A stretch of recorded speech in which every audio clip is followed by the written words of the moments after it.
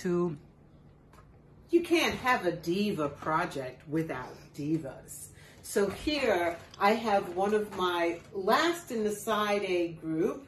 It's a diptych. It's one of my larger, actually it's my largest African diva painting. It's 60 by 60 when we're to, they are together. We have Jessye Norman and we have Kathleen Battle. They were both on the same um, Spirituals album, which is a really beautiful thing. And it actually does have a red background.